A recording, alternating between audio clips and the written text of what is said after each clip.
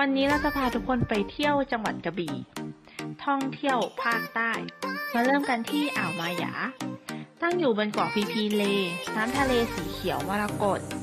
มาต่อกันที่การดำน้ำดูปะการังที่ใครก็ห้ามพลาด เพราะมีปะการังที่สวย และมีปลาหลากหลายชนิดมาก แต่จังหวัดกระบี่ไม่ได้มีแค่ทะเลยังมีวัดมหาธาตุวชิรมงคล เป็นโบสถ์สีเหลืองทอง ต่อมาด้วยการเอาใจสายคาเฟ่ด้วยคาเฟ่ Attitude Coffee Camp เป็นคาเฟ่แคมปิ้งภายในสวนยาง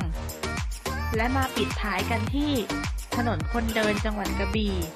ในตอนกลางคืนที่มีสินค้ามากมายหลากหลายให้เลือกช็อปกันได้เลย